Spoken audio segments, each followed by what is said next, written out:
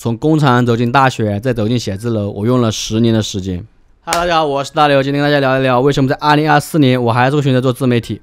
相比以前，我现在的工作可以说是我做过最轻松的了，没什么很大的压力，人气十万加也好，一万也罢，卖货一个亿也行，卖几十万也 OK。我做好自己的工作就行了，不用去肯德基狠狠地刷几个小时盘子去赚点生活费，也不用去车间忍受那充满化学气味、坐牢式的工作。现在更加不用背黑锅和祭天了。我用了十年的时间享受现在有空调、阳光洒在桌面、五险一金、体面的工作。按道理来说，我现在应该很满足了，但是我还是很焦虑。焦虑的之一就是工作不稳定。我觉得我现在的工作，一个随便毕业的高中生都能做，主播喜欢就行。而且刚毕业的学生，工资又低，难度又不大，不像那种高标准的 TVC 一样，对打光、遮光、升格、剪辑、调色都有很高的要求标准。跟播这个东西，只要你把主播打亮就可以了，其他的并没有什么很高的要求。简单的说，就是拿个模板往里面套，没有什么很高的难度的。而且我本人不仅智商低，情商也低，万一裁员了，我应该是首当其冲的吧？就像之前的公司一样，项目不好没做起来，第一个背锅的就是我。只能把我给祭天了。关于这一点，我还是很有自知之明的。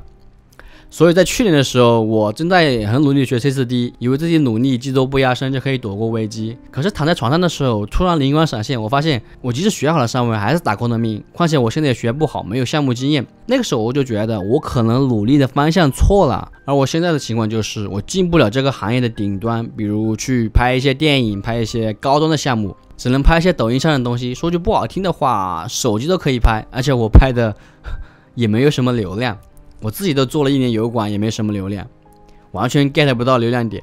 况且我也不是很喜欢短视频这种风格，我也很清楚认识到自己的年龄会越来越大了，技术方面的增长对我来说并不是很重要。就像现在我很久都不用 A 一了，我打开 A 一的时候，我甚至都忘了 怎么去抠像，就因为很久没用了，疏忽了。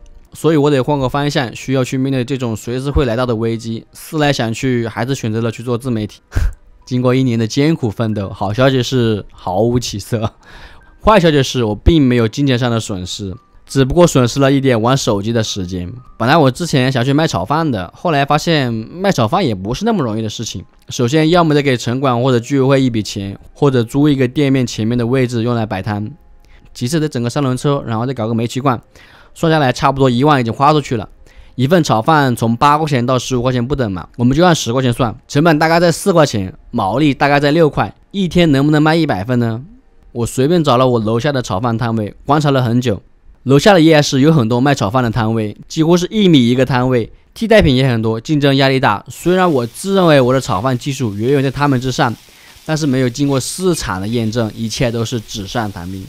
后来我还是放弃了这个白天上班、晚上下班去卖炒饭的想法，因为你光料头的准备，比如切一些葱、姜、蒜这些料头都要切阵子了，还要去上班，别到时候钱没有赚到，把自己的身体给整垮了。我做自媒体最大的优势是从灯光到设备到收音这些设备我都有，成本在逐年平摊，也没有什么其他的花费，更没有什么压力啊。我知道现在自媒体竞争也很大，但是对于我来说，无论我做什么，竞争压力都很大。都避免不了，哪怕我去追女孩子、去泡妞，竞争压力也很大。我也我自己也没有什么优势啊，已经做了油管一年了，我也不知道什么时候才能赚钱，也不知道什么时候能出成绩，只能坚持了。不坚持的话，我也保不准哪天会被裁掉，然后到处找工作。况且高端行业有壁垒，没有圈子也混不进去；低端行业的话又恶心，而且很多工作就像屎一样，不断的一批又一批的招人，然后和第三方签合同，然后一批又一批的裁掉。就像在沙子里淘黄金一样，不断的筛选，然后维权也比较困难，因为是跟第三方签的合同嘛。然后我副业也做不起来。二零二三年打了一年官司，从年头打到年尾，诉讼费都折进去几百块了，赢了全部的官司，一毛钱都没收到。好不容易整了几个大项目，全折进去了，还倒贴了几百块钱，真的就很心累。小项目的话，钱少事又多，几百块钱单子抢来抢去，干个两百到三百块钱的苦力助理还要有经验。这就是为什么我要做自媒体了，力求一份回家的退路，或者说是为自己的未来做打算吧。同时，我也知道自媒体并不好做，但是活在这个环境，除了天龙人，哪个行业都不好做啊。三四线的城市工资低，岗位少，机会更少；大城市容不下肉身，小城市容不下灵魂。可能这就是我们这一代人的宿命了。努力很重要，但方向更重要。好了，以上就是全部节目的内容了。有什么意见或建议，欢迎在屏幕下面留言。我是大刘，我们下期见，拜拜。